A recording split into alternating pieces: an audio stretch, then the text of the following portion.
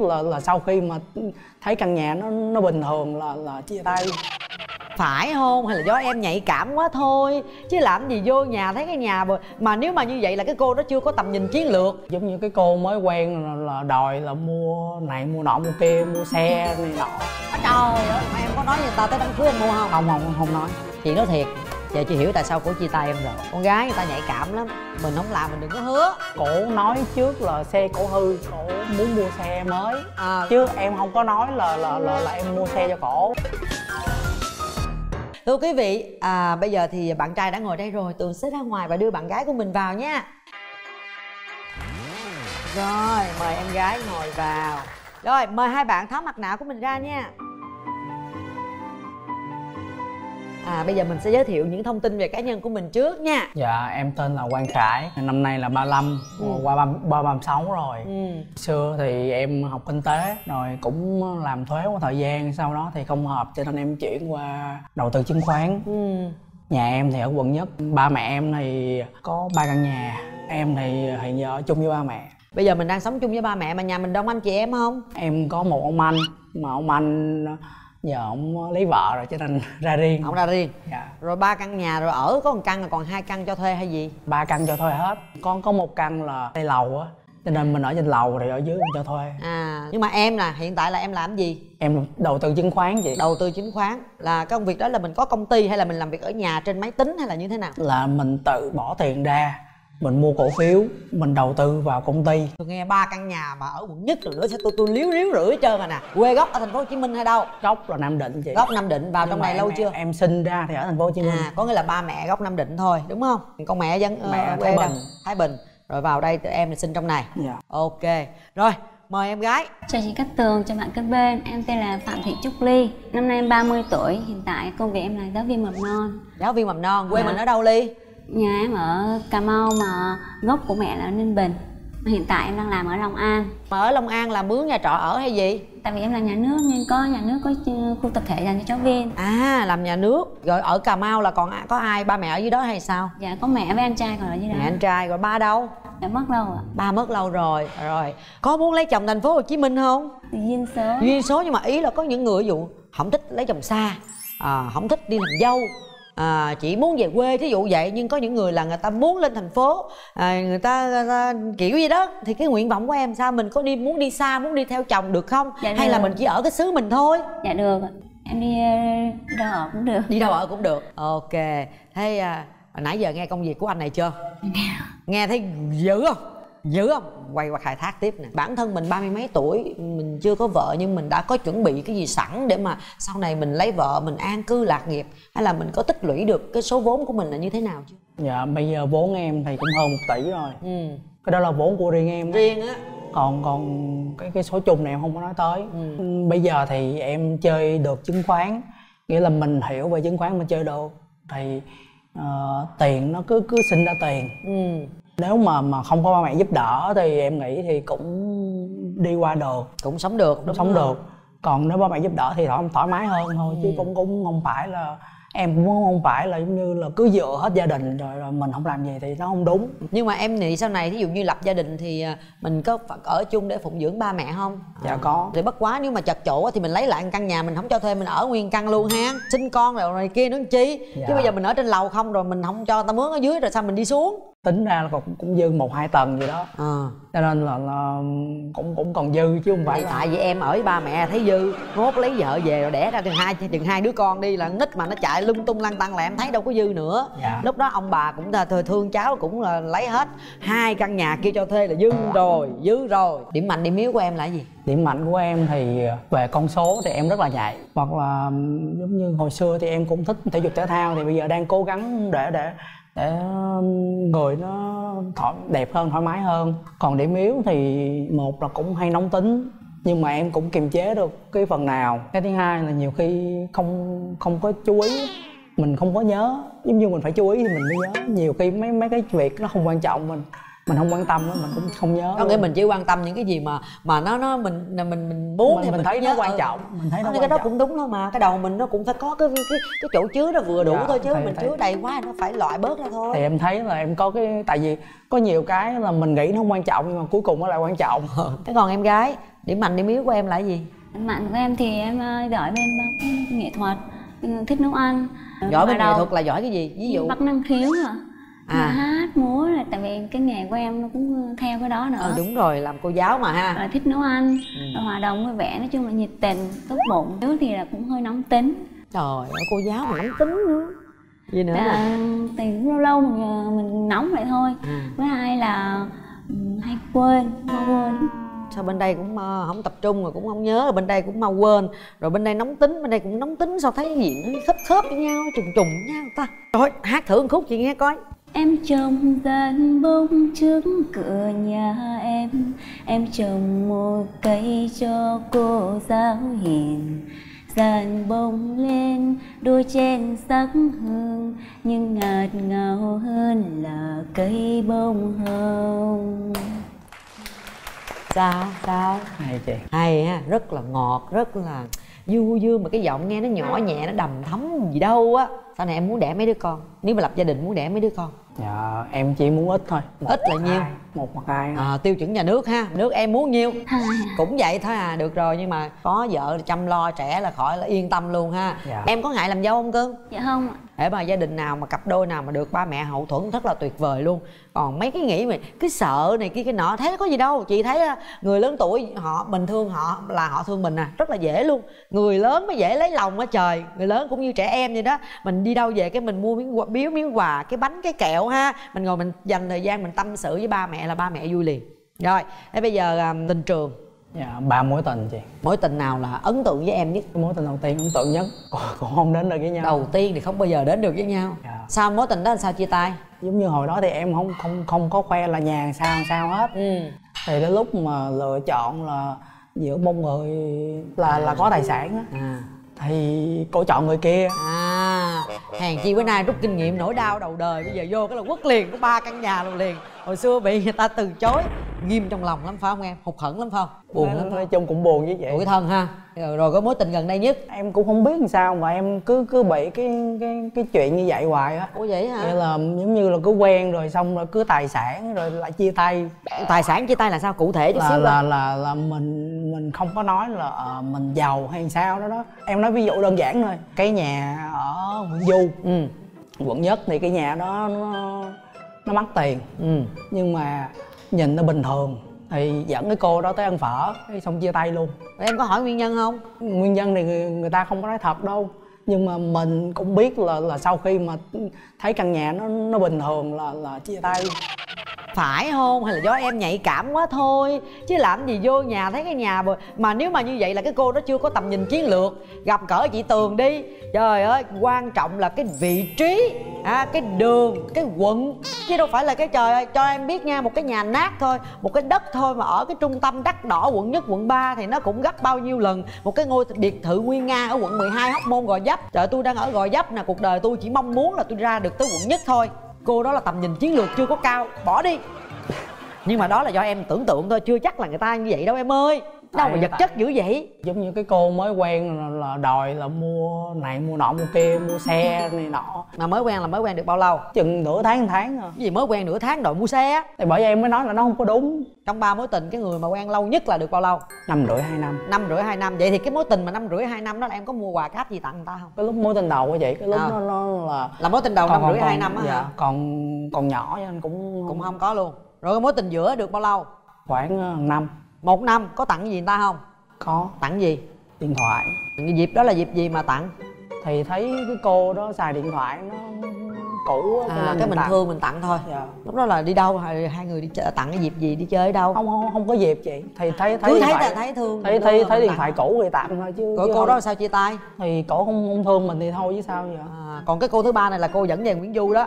Không cái cô dẫn về Nguyễn Du là là, là cái cô khác nhưng mà cái là cái cô thứ ba này là cái cô mà mới quen nửa tháng mà đòi tặng đòi mua xe. một tháng nửa tháng là đòi mua xe. Mua xe mua xe gì? Xe tay ga. Mà em có gợi gì trong câu chuyện Không, sao không chứ sao? Người ta nói sao? Giờ quen mới nửa tháng ta nói sao mua xe tay ga? Ta nói là xe em bị hư cho nên là mua lại xe cũ. Ừ. thì em mới nói là xe hư thì sửa lại đi. Thì ờ, lúc nào có tiền mới mua chứ đâu phải tự nhiên nói. Vừa nói ngày hôm trước cái là phải chồng tiền mua liền cái xe ờ, liền ngay lập tức được. Ừ. Cái xe thì cũng là một cái tài sản chứ đâu phải là tự nhiên cái trên trời nó rơi xuống cái xe. Ừ. Không không mua xe cái là chia tay luôn. Cổ nói chia tay có lý do hay là con chỉ lẳng lặng thôi nói là em uh, nói mà không có làm nói mua xe mà không có làm. Mà em có nói mua xe không? Em nói là chờ đi rồi anh mua xe cho em. Chờ là chờ chừng nào? Trong đầu em là em định là kêu người ta chờ. Ít nhất phải đám cưới chứ chị. À, trời ít nhất phải đám cưới chứ chị. À, trời ơi mà em có nói với người ta tới đám cưới anh mua không? Không không không nói chị nói thiệt giờ chị hiểu tại sao cổ chia tay em rồi. Con gái người ta nhạy cảm lắm. Mình không làm mình đừng có hứa. Em đâu có hứa em chỉ nói là chờ thôi. Chờ chờ bắt ta chờ dài cổ chờ phải có thời hạn. Một tháng hai tháng một năm hai năm nó phải có cái thời hạn. Rồi hồi đó chị cũng có chia tay một anh. Chị thì khác cô kia là chị không có xin xỏ gì dơ tại chị cũng có điều kiện mà. Nhưng mà tự người ta thấy nghĩa là tự người ta muốn lấy lòng mình. Cái tự người ta ga lăng cái tự nhiên người ta dắt mình đi ra coi xe. Ờ đi ra coi xe ta coi coi cái tự nhiên đi coi một lần giống như người ta nhử mình vậy đó. Cô đó cô nghĩ nhiều khi em nhử cổ. Cổ nói trước là xe cổ hư cổ muốn mua xe mới. À, chứ em không có nói là là là, là em mua xe cho cổ. Nhưng mà em có hứa là để chờ đi từ từ anh mua. Ai biểu em hứa vậy chi? Còn nếu em không hứa thì cổ đâu có đợi. Cổ không đợi thì cổ vẫn tìm hiểu thêm. Còn em hứa mà cổ thấy xong quả hứa mà không có làm. Cái người ta nghĩ là ôi ông nội này keo kiệt ông này là chùm sò. Không mà cổ đâu có chờ đâu chị mới có ngày hôm trước hôm sau chia tay thì tại vì em không em em em nói mà em cái lời hứa của em nó không có cái cái cái hẹn thấy không? Thì rút kinh nghiệm lần sau nè. Thứ nhất mình cũng chẳng cần khoe mình có tiền có bạc gì hết. Người ta yêu thương mình người ta tìm đến với mình đúng không? Cái thứ hai nữa còn nếu như mà đến một cái mức độ quen yêu nhau một thời gian mà thân tình quá rồi có nghĩa là biết hết rồi mình tính muốn tới lâu dài thì đương nhiên là phải hiểu cái hoàn cảnh của nhau đúng không? Thì mình đàn ông thì dụ mình đã lăng một xíu mình bảo bọc mình lo lắng cho bạn gái mình một vài cái lặt vặt chị thấy nó cũng không đáng gì tại vì thanh xuân của người ta nó cũng không đáng gì. Tại... còn chị ghét nhất mấy đàn ông mà cứ hẹn hẹn hẹn hẹn hứa hứa hứa. Hồi đó cái ông đó ông cứ hứa hoài ông nói là mua xe mua xe mà mà chị không có đòi. Ông cứ lâu lâu buồn buồn mình giận cái đi đi coi xe đi coi xe cái bữa chị chửi thẳng mặt luôn. Coi gì có hoài vậy? Xe ta nằm ở đó thì có giá rồi chừng nào muốn mua đem tiền ra mua. Xe làm gì đâu phải đi coi. Là chia tay luôn đó. Mà em thì em không không không giống như là nói mà không làm nhưng mà cô đó là như cái gì cũng phải mua mua nhiều cái rồi chứ không phải là ai mua được gì cho cổ rồi? Ừ, em nói đơn giản thôi nha. Ừ. là mỗi lần đi ăn ừ. là cứ 500, 700 một triệu. À, đi ăn mà là em cho tiền cổ hay không là phải cái tiền ăn đó. trời ơi tiền ăn mà tính vô đó làm chi? Đi ăn phải, thì đương nhiên phải. phải, phải trả tiền chứ. Không phải. Ý em nói là là là là cổ không không có biết là tiết kiệm một chút. Tại vì sao? Tiền. Nói chung lấy nhau rồi thì cái đó nó không quan trọng nữa nhưng mà bây giờ mới quen à. Mà cứ gặp nhau là đi ăn, gặp nhau là đi ăn. Mà đi ăn đi ăn là toàn đi ăn cho mất tiền không à. Chứ giờ bây giờ hẹn hò gặp nhau, không đi ăn thì đi đâu trời. Thì bây giờ tôi hẹn hò, bạn trai thì cũng đi ăn, đi coi phim, đi siêu thị, đi uống cà phê. Có nhiều đó thôi chứ giờ hẹn nhau hẹn nhau đâu. Không lẽ ra cầu ánh sao ngồi dưới gầm cầu ngồi nói chuyện? Đi thời buổi giờ, thời buổi gì rồi? Thì đương nhiên vậy, phải vậy chứ giờ sao? Em suy nghĩ lại đi, em có vấn đề đó. Còn em nói tới chuyện chừng nào tới vợ em thì em mới cho người ta xài. Xin lỗi á, nếu ngay từ đầu phụ nữ mà em, người ta cảm nhận người ta không có, em không có bảo bọc không có gì kia, em không có ga lăng không có lịch thiệp thì người ta đâu có chịu lấy em đâu chi sẵn sàng chi em chi rồi nhưng mà có lấy nhau hay không? Lấy không? nhau hay không là tùy cái tình cảm của hai người có hiểu nhau hay không tìm hiểu như nào. Chứ cái lấy nhau hay không nó không phụ thuộc vô là ăn cái gì ở đâu hay là chi hay là không chi. Hai cái đó là hai cái khác nhau. Cái chi mua sắm là tạo thêm cho người ta cảm xúc để người ta cảm thấy vui cảm thấy là người này ồ sẵn sàng hết lòng vì mình. Còn cái chuyện mà có lấy nhau được hay không là toàn cái duyên của của nhau nữa. Giống như cô đó cô đi mua sắm em À. em cũng thanh toán hết tất cả vậy À. hết nhưng mà cổ coi trọng cái đồng tiền quá tại vì sao? Đơn giản như thế này nè là mua cái gì đó là phải mua liền mua ngay lập tức. Em nói ví dụ đơn giản thôi cái cái món hàng đó là bán ờ, online á ừ. thì trên mạng nó giảm giá. Ừ. Chỉ vậy thôi. Ừ. Thì em nói là bây giờ ra cửa hàng xong rồi mình đặt hàng trên mạng thì nó giảm giá chỉ vậy thôi. Mà cổ không không chịu cô bắt là phải ra cửa hàng mua coi như là mua cái cái giá trực tiếp không được giảm giá nghĩa là cổ không có sót cái tiền của người ta. Cũng ấm ức ha cũng tức ha. Hay là tại vì nhiều khi cổ thấy được cái ý của em trong đầu là cổ phải lấy nhau mới chi cho nên giờ cố gắng cổ hốt được như cổ hốt không biết quen được bao lâu á. Cho nên cổ như vậy. Nhưng mà rồi chia tay có đòi quà không? Không. Em quan điểm là không có đòi. À, đã cho là không có đòi. Rồi. Nãy giờ em nghe câu chuyện của ảnh thì cảm nhận của em cũng là phụ nữ thì em cảm nhận như thế nào? Về những gì anh chia sẻ. Chắc uh, bạn gái đó cũng có suy nghĩ nhiều nên người ta mới quyết định chia tay nếu mà đơn giản không thì người ta không chắc không chia tay đâu. Ừ. Chứ nếu người ta thấy người đàn ông có tiềm năng có tiền nhiều người ta cũng không chia tay đâu đúng không? Yeah. Dạ. à, có thể là một là cô này cô không có ý định tiến tới hôn nhân với anh này cho nên là cổ lẹ lẹ lẹ lẹ mua được gì mua làm được gì làm. À, còn hai là cổ cũng muốn thử lòng anh này thử coi nhắm cái gì dạo có có được cái gì không? Nó có nhiều thứ lắm nha. Rồi còn em thì sao? Tình trường em như thế nào? À, em trải qua hai mối tình. Ừ. thì cũng chia tay vì uh, cũng khoảng cách cái thứ hai mối tình thứ hai thì chia tay vì uh, môn đăng hộ đối. Môn đăng hộ đối là sao? Nhà em không hợp với nhà họ. Gia đình em không hợp với gia đình họ không dạ. hợp về cái gì? Người ta cần uh, nhà phải ngang ngửa nhà người ta vậy. À nữa cũng coi trọng vật chất nữa có nghĩa là nhà người ta giàu có hơn mình. Dạ. nhưng mà sao em biết lý do như vậy? Tại vì cái lúc chia tay rồi thì uh, em mới biết ra được. Tại vì rất là nhiều người xung quanh họ rất là biết mà tại họ không nói. À. Thì lúc mình chia tay rồi với lại người đó quen người khác nữa. À. Là môn đàn hộ đối hơn em. Là mối tình đó quen được bao lâu? Gần 2 năm lúc chia tay thì người ta nói lý do gì? Không nói lý do gì chưa nói là giờ có, có người mới rồi. Ông nội nào mà ác nhân ác đức gì trời quen nhỏ 2 năm mà là có người mới rồi cái chia tay. Rồi lúc đó em có khóc lóc có bấu víu có năn nỉ gì không? Khóc thì cũng khóc một thời gian ngắn thôi rồi cũng đi làm lại bình thường cũng bình thường. Vì họ cũng cảm thấy ờ, nếu là không viên với ai họ không xứng đáng với mình. Họ không tôn trọng mình dạ. thôi ha. Mình uh, dự kiến là mình muốn tìm một cái người bạn trai như thế nên biết quan tâm chia sẻ nói chung là cũng phải biết hiếu thảo nữa uh, cũng uh, biết yêu thương mọi người chứ cũng không có uh, em cũng mong là không có suy nghĩ mà như vậy vậy em muốn đăng hộ đối vậy. Ừ. còn em muốn tìm một người vợ tương lai như thế nào? Cái quan trọng nhất là hiếu thảo. Ừ.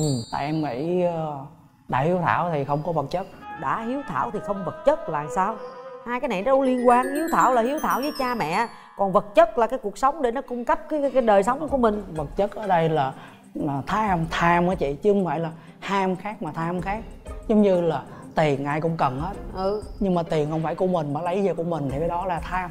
Tham mà tham đâu liên quan gì tới hiếu thảo. Có nhiều người hiếu thảo hiếu thảo tham vẫn tham. Có nhiều người không có tham nhưng mà cũng không có hiếu thảo. Hai cái này đâu có ghép vô nhau được. Thôi được rồi bây giờ cho hai bạn gặp nhau nha. Xin mời nhìn về cửa trái tim. One two three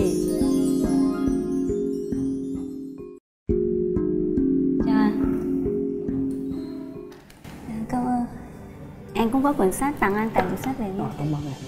Ý nghĩa của tặng hộp kẹo sô cô la là gì cưng? Tượng trưng cho tình yêu.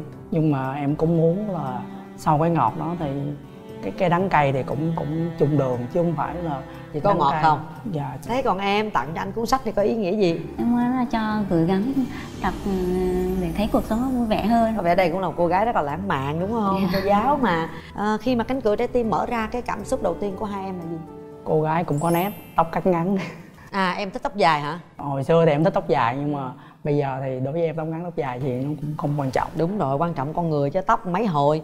Thì thấy anh người à, chững chạc hiền. Ừ rồi bây giờ chị tường sẽ tạo điều kiện cho hai bạn tìm hiểu nhau kỹ hơn một xíu ha.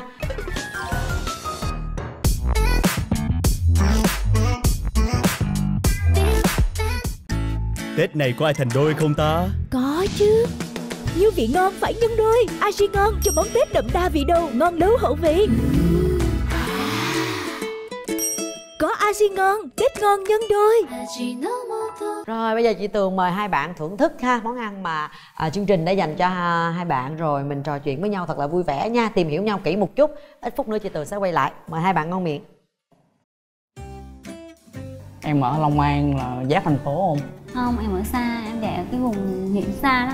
Em đi đây có đi xe tốc hành của em 4 tiếng. Ở ngại khoảng cách xa hả? Anh không ngại xa nhưng mà anh nói chuyện anh hỏi thăm. Em nghĩ sao về hiếu thảo? À, hiếu thảo thì nói chung là phải biết uh, quan tâm cho mẹ này. nói chung là biết chăm sóc. Rồi những lúc mà mẹ cần thì cũng phải có mặt. Em thì em vẫn thích con người hiếu thảo hơn. Nếu mà không có hiếu thảo thì cũng không đáng anh có quan trọng cô môn đăng hộ đối không? Anh không quan trọng môn đăng hộ đối. Hôm nay em lên rồi có gia đình không hay là đi một mình? Đi mình à? Tại vì mẹ em ở xa mà. Đồng nghiệp thì đi làm. Không ai nói gì rồi đi hai người có nói chuyện nhau không? Sao cô không nghe gì trơn trọi vậy? Nãy giờ tìm hiểu được gì chưa? Vừa ăn vừa nói chuyện chị mà nói được gì chưa? Được rồi. Được gì? Cô bé nói là thích hiếu thảo. Ừ hiếu thảo là hiếu thảo chứ không phải thích hiếu thảo. Hôm nay mình đi có người nhà đi theo không? Em ở thành phố gần mà. Có bài em. Dạ con mời bác vô ạ. Qua những cái câu chuyện tình con trai bác kể vậy đó rồi con cũng phân tích thì bác thấy sao? Bác thấy con ờ, con nói bác có ý kiến gì không? Không các tường nói thì quá chuẩn rồi. Nhà tôi thì lại cũng là giáo viên là hầu hết là giáo viên. Nếu tôi không đi bộ đội thì tôi cũng là giáo viên. Dạ. Thế nhưng anh này lại nhà tôi lại rất là thiên về văn Dạ. anh này lại giỏi về toán hồi xưa đi học á cô giáo có bắt học thuộc lòng về môn văn cho nên lão ghét lão ghét môn toán cho nên lão dốt văn Dạ. nhưng đọc sách rất nhiều nhưng mà cái cái cái cái, cái mà nói chuyện với bạn gái thì cũng có vẻ bụng về dạ kiểu chân chất chứ không có Vâng. cái hoa mỹ không đấy có cái cho nên là thì giả dụ vừa rồi cái cô mà, mà, mà cuối cùng mà bảo là không đồng ý với nhau thì đúng ra thì không nên nói cái chuyện đó ra bởi vì đó là của một người bạn của bà xã tôi là giới thiệu hai đứa với nhau nhưng mà nó không hợp thì thì đáng lý ra không nên nói ra. Dạ. Thế thôi không có gì hết. Dạ. Thế cho nên là thế hôm nay thì trước hết thì tôi cũng cảm ơn chương trình và tôi cũng rất cảm ơn cô Cát Tường và lần đầu tiên tôi gặp cô Cát Tường Dạ. thực, thực tế Dạ. thì tôi rất quý rất thích dạ cảm ơn ờ, Vâng. bác rất cảm ơn chương trình sau này tạo điều kiện cho hai cháu tìm hiểu với nhau nếu hai cháu mà hợp với nhau thì là quá tốt dạ còn nếu không đưa đến chơi thì cũng phải chấp nhận thôi dạ đúng rồi cái đó là Vâng. cái duyên ạ. Dạ, mình cái duyên cũng là cái duyên thôi. giúp thôi chứ mình cũng không có Dạ, quyết định rồi. được còn cái chuyện xa hay gần thì chắc Long An với đây thì cũng không có gì ghê gớm dạ À. thì thật ra là trong cái giai đoạn tìm hiểu thôi chứ còn Vâng. khi mà lấy nhau rồi thì đương nhiên phải về chung Vâng. một nhà Thế còn rồi. nhà cửa thì không không thành vấn đề. Dạ. vì, vì cháu nó có nhà riêng rồi thì không sao. Dạ. Đó. nhưng mà bác nhờ nhận xét gì ờ, cháu gái ngày hôm nay như thế nào ạ? Để cô gái cũng xinh cũng được hiền dịu. À, con cảm ơn bác. Chúc ờ, bác mạnh luôn mạnh khỏe vui vẻ ạ. bác khen rồi đó. Cũng được hả bác? Được được. Dạ. Quá được. Dạ, nhưng mà con trai bác là thích tóc dài không có thích cổ tóc tóc ngắn. dài tóc ngắn không thành vấn đề. Mẹ đâu có tóc ngắn hơn. Dạ. Rồi đó là coi như là bác ờ, thôi cho bác chúc cho con trai bác một câu đi cho ảnh lấy lại tinh thần ảnh nói chuyện nó hơi anh nói rồi anh này thì nhát gái Dạ. cố lên nha cưng. Có ba ủng hộ rồi có chị tường ủng hộ nữa nha. Dạ vậy thôi con cảm ơn bác nha. Rồi, con sẽ cố gắng con, ờ, con con con tác hợp cho cặp Rồi. đôi này còn còn mọi hai thứ. hai tên này có hợp với nhau thì Dạ, tùy. dạ, tùy. Dạ rồi con cảm ơn bác. Dạ. cảm ơn cô rồi thế bây giờ à, chơi trò chơi cho nó vui chút nha rồi mỗi bạn à, đọc lên cái yêu cầu của chương trình dành cho mình nha Khi bố mẹ đối phương từ chối mối quan hệ tình yêu của hai bạn, bạn sẽ làm gì thuyết phục phía gia đình? À, thì cô con ờ, con thương anh rất thật lòng, à, thương ở cái tính với lại là anh cũng thương con thật lòng à, và con cũng ờ, tính toán gì nhiều. Con chỉ mong là anh thật lòng và quan tâm chăm sóc và con thật lòng thương anh ấy. phép hai bác cho xin cơ hội ha Dạ. Vậy được không em có khi nào em mốt em quen ai mà ba mẹ em hồi đó giờ ngăn cản chưa? Cũng có nhưng mà theo em nghĩ thì nếu thật lòng thì sẽ vượt qua. Ừ rồi ok. Rồi tới phiên em. Khi người yêu vấp ngã thất bại trong làm ăn bạn sẽ làm gì? Đã bước ra đời chưa có kinh nghiệm thì vấp ngã cái đó là chuyện bình thường. Cho nên là hãy thử lại một lần nữa. Ta đâu còn cơ hội nữa ta làm ăn. Ví dụ người ta có số vốn nhỏ nhỏ ta mở cái shop bán đồ quần áo đi rồi thất bại mở buồn hết mất hết hết vốn hết bạc rồi rồi em tính làm sao? Đâu có ai mà thành công ngay cái lúc đầu tiên đâu chị. Cho nên ừ, cái lúc thứ hai mình rút kinh nghiệm cái lúc đầu tiên là cái cái cái xác suất thành công mình sẽ cao hơn. Rồi cảm ơn hai bạn. Thôi hỏi các bạn bao nhiêu đó đủ rồi. Chủ yếu là để cho hai bạn có cái cơ hội mình chia sẻ mình hiểu nhau nhiều hơn thôi. À, bây giờ quan trọng giống như hồi nãy ba của bạn trai cũng đã nói rồi mọi người chỉ là dẫn đường đưa lối cho các bạn gặp nhau còn có muốn lấy cái cơ hội này hay không có muốn nắm bắt với nhau hay không có tìm hiểu nhau hay không là quyền của hai bạn ha? Chị không có xen vào được. Sau 3 tiếng đếm của chị tường đồng ý hẹn hò bấm mạnh không đồng ý có quyền lấy tay ra. Một hai ba. Hết thời gian. Sao bạn trai không bấm? Em chưa có đủ cảm xúc để quyết định là em bấm. Ừ. mình đã làm nên mình phải chịu trách nhiệm với những cái gì mình làm. Đúng. Em không có làm bậy kiểu như em muốn là quen ai là phải chắc chắn cưới luôn em mới là quen đúng không? Thì em nghĩ là mình dám làm thì dám chịu. Ừ. còn đã không dám chịu thì không không có làm. Rồi ok thôi chị trân trọng em thôi. Chị thấy đây là một cô gái rất là tốt và giống như những cái gì mà em chia sẻ thì chị thấy là à, cái cách cô chia sẻ cũng rất là có tình người cũng rất là người có cái tâm nhưng mà cái duyên chưa có thì cũng chịu.